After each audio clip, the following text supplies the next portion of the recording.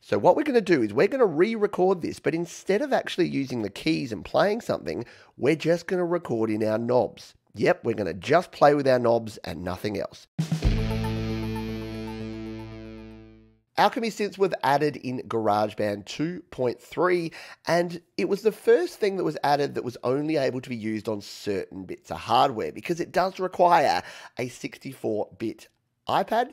The older 32 bit architecture iPads and iPhones do not run Alchemy Synth. So to use Alchemy Synth, first up, you do need to be running the latest version of GarageBand, which is an iOS 13 or iOS 14, and uh, you do need to have an iPad Air 2, an iPhone 6S up or above, an iPad Mini 4 or above, or an iPod Touch fourth, seventh generation.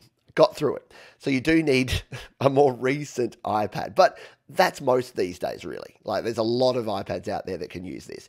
So why is Alchemy Synth so cool? Well, it was kind of unheard of that something of this power would be added to an app like GarageBand for free because the Alchemy Synth has some features in there and the ability to sculpt and craft your sound that just hasn't been seen or heard in anything like this before. So we've added in one of the Alchemy synth sounds here. This is the soft analog.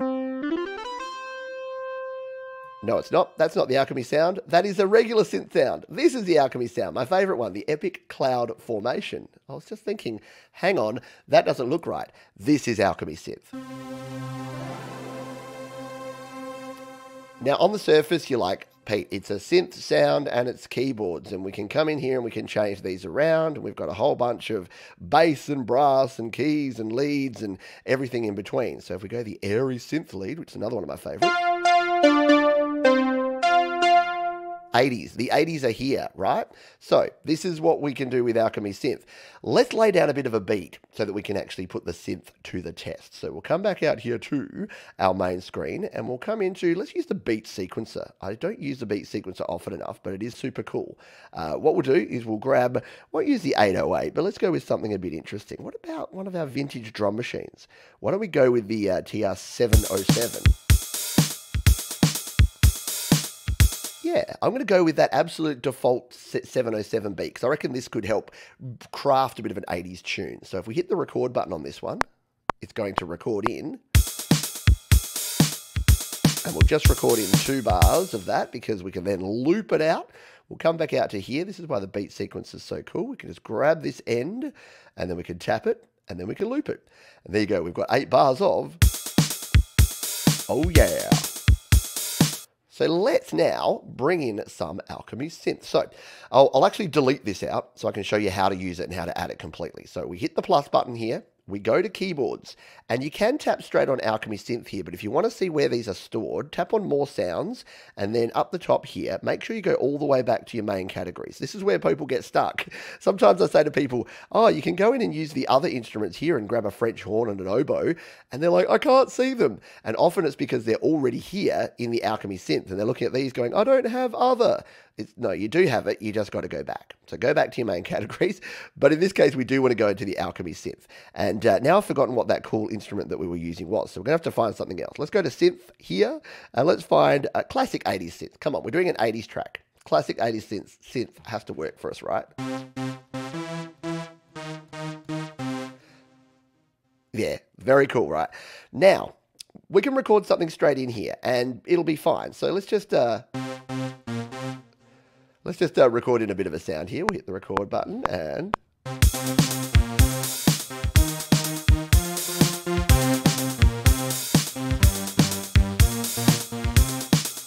So we record in a little pattern there and we're getting our 80s sounds built out here. The start was a bit dodgy, wasn't it? Start was dodgy. But here's the good thing. Of course, we can edit this. So you, these are just MIDI notes. So Alchemy Synth uses your MIDI instrument. You can come in here, and if you're a little bit late on that, we can go, let's just bring it on back. We can hit done on that. We can, of course, use things like quantization that I've talked about before. If we go to our track settings, we can quantize this. At the moment, we've got none on there, but if we were out of time, we can quantize it. But there's so much we can do to shape our sound with the uh, Alchemy synth, and that's what I wanted to show you here. So if we go back to our keyboard by ticking, clicking, tapping on this one, then uh, we can come in here and adjust this sound. We've got these, these pads. Now, these eight pads, you can obviously select each individual one. So you can have the bright, the filter down, the tremolo, the thin uh, low frequency oscillator. There's a whole bunch, and every different synth has different settings here. These are your presets. So consider these your presets. And the cool thing about this is you can land it in between a few presets. So you can really hone your sound in. Let's play this back. In fact, we'll loop it first because we've only got uh, half of it there, don't we? We'll zoom on out and we'll loop this so that we've got eight bars to play with. We'll tap it, we'll loop it, and then we'll come in here to our sound again. So I'll play this back and we'll move this around and you'll hear that we can get some pretty cool different sounds with this.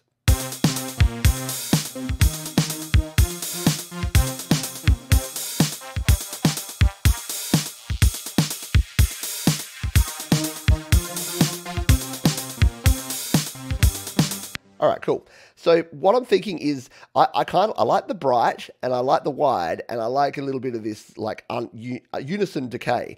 So what I can do is I can actually just slide it around about here and just put it there. And I've created my own custom preset that's like a bit of wide, a bit of bright, a bit of that, and a bit of that. You can like mix and match. So now my synth sound is this.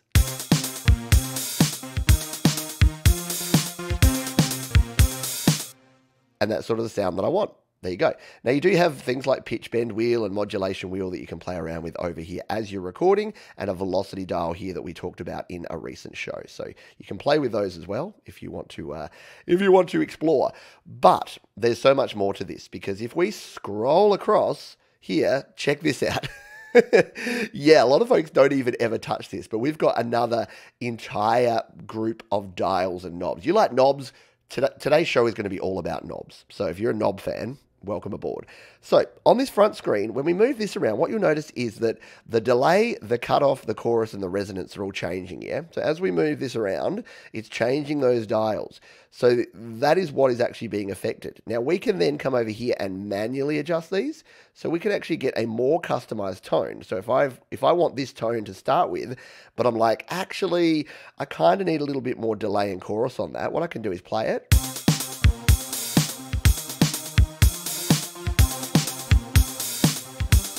And I can customize the tone, customize the sound to what I want it to be. I'm just going to bump that volume a little bit because now that I've adjusted it, it's gone a bit quiet compared to our drum beat. So let's come back into this. Then what we can do is scroll on across.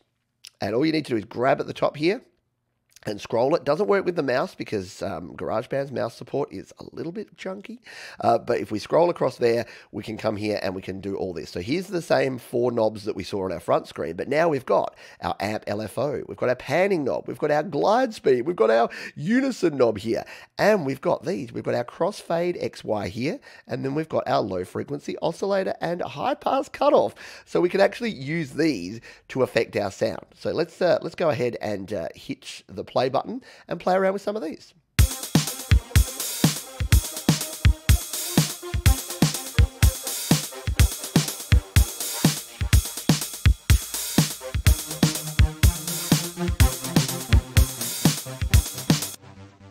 So you can quickly make a bit of a mess of things, really. So I, I, tend to do these sort of things and then come back to here and go, oh, that was terrible. Let's just reset it to default. And then we're back to our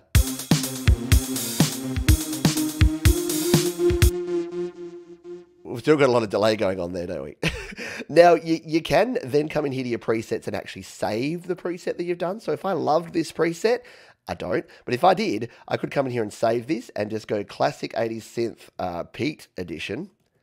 And I can save in that. And then in the future, if I want to use this, I can actually just come in here to my actual custom sounds. See how I've got a custom folder here now? I can come to that custom synth. So we'll leave that one for now. Let's do another one because there's some other cool things that you can do here with the Alchemy synth. I'm actually going to mute that one and we're going to hit plus. Let's add another synth sound here, shall we? Why don't we go with a pad? So hit Alchemy synth. It's going to bring us in here and it's gone with the Epic Cloud Formation. Happens to be one of my favorites. And I actually like using the Epic Cloud Formation in pitch mode because you can change. The other thing you can do here in uh, in your Alchemy synth is change it to pitch mode. So now.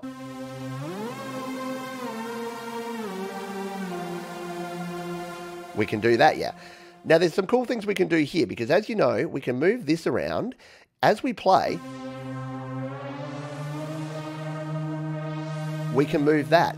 And if we want to record in those changes, look what happens. If we hit the record button here and we start playing,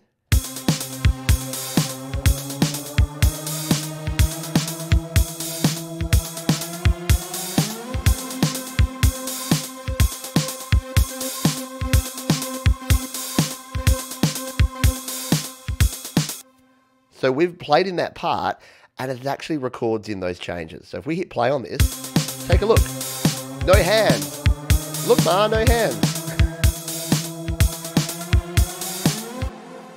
now I know what you may be thinking. Pete, that's great, but I've only got two hands and it's hard enough for me to play a keyboard instrument without having to worry about doing all of that business at the same time.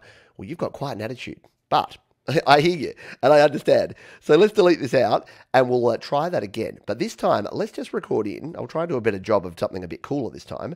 We'll start with it here up here in the Lush setting. We'll hit record and uh, I'll, I'll just play in a part. I'll play something that makes a bit more sense and we'll try this out. Ready?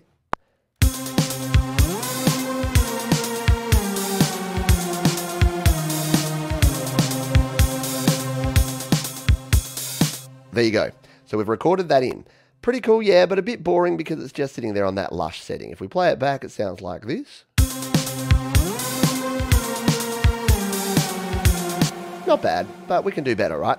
So if we wanted to now tweak this, any of these knobs, any of the pads here, any of these knobs here, and even our XY, we can actually move while we're actually recording. We can do that using this mode up here, track settings, recording mode, and we can do merge recordings on.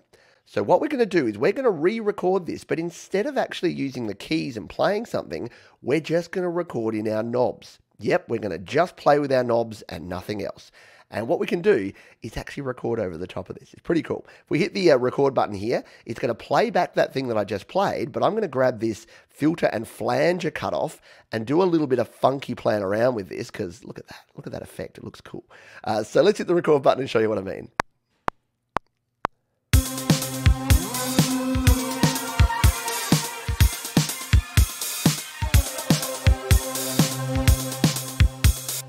You go.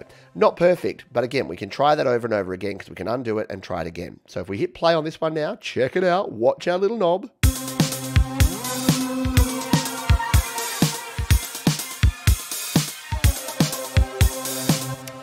Now we can't edit that, but of course we can continue to layer up different sounds. So say we wanted to use these, play with this panning now as we do it. Let's hit record again and we'll grab it.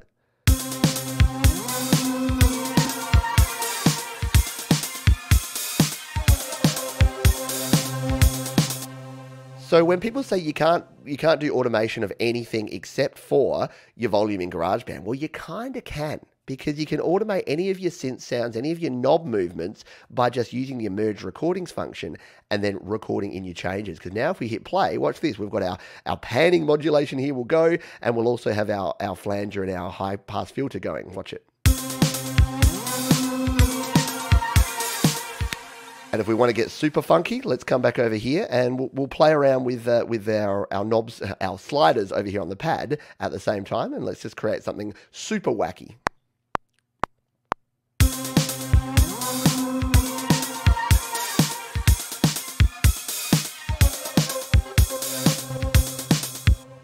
There you go. Now everything's moving. so you can see how you can layer this stuff up and create some pretty darn cool sounds with our Alchemy synth. So, and, and, don't don't forget, there, there are literally hundreds of Alchemy synth patches, a whole heap that have been added in all of the different packs that we've had over the time. So you see, you've got your God, Cadenza Latina here, your Flex and Flow pack. There's been a bunch of them. So if you go to your sound library, you can download a whole bunch of additional ones. And there's strings, there's brass, there's mallets. And as you can see here, the cool thing about this is when you're using something like this, make sure you do customize it because every man and his dog, right, is using. But if you come in here and you're like, oh, I actually want it to be around about there, and I'm going to come down here and I'm going to drop this to here, and I'm going to give it a little bit slower attack, slower release, I want my sound to actually be like this.